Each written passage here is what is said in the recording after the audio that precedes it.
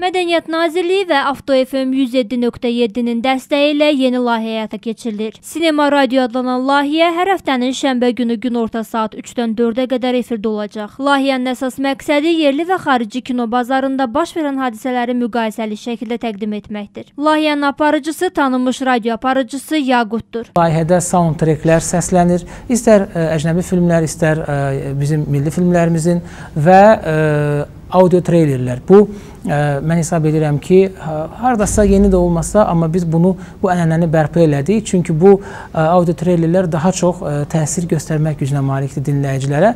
Əsas məqsəd də budur ki, biz əslində kino, teatr anlayışı ilə yol anlayışını birləşdirmişik. Çünki insanlar ən çox radioya nə vaxt qulaq asır? Ə, yol gedəndə, maşında.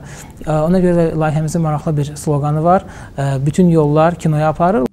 Azərnew Media tərəfindən hər il 2 avqust kino günü laureata mükafat təqdim olunur. Nizami Kino Mərkəzində keçirilən ə, mərasimdə biz ə, ilk ə, demək mükafatı ilk sahibinə belə deyək təqdim etdik. Bu aktyor, aparıcı Kamran Ağabalayev oldu və hər il biz çalışacağıq ki, bu ənənəni saxlayaq.